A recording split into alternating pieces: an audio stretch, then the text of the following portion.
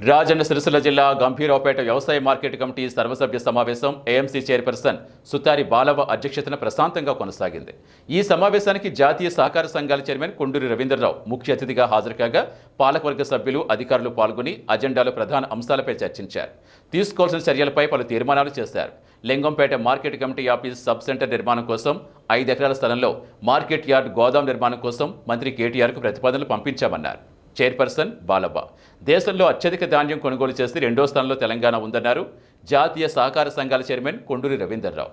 కాళేశ్వరం జలాల రాకతో మండుతున్న ఎండల్లో సైతం ఎగువ మానేరు మత్తడి దూకిందని ఈ ఘనత సీఎం కేసీఆర్కే దక్కుతుందన్నారు. అధిక వర్షాలతో ఈసారి యాసంగి కన్నా ఎక్కువ పంట దిగుబడి వస్తుందని ముందు చూపుతో మార్కెట్ యార్డ్ గోదాముల వంటి నిర్మాణాలకు చర్యలు తీసుకోవాలన్నారు. రైతులకు ధాన్యం కొనుగోలులో ఎలాంటి ఇబ్బందులు లేకుండా రైతులకు అన్ని సౌకర్యాల ఏర్పాటు కోసం కృషి చేస్తున్నామని తెలిపారు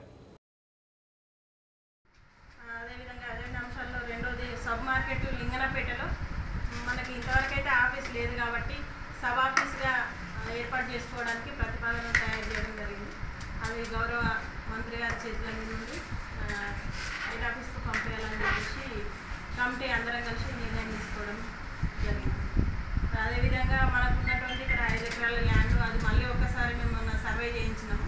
అది కూడా కమిటీ మెంబర్స్ అందరికీ కూడా జరిగిన విషయాన్ని తెలియజేయడం జరిగింది.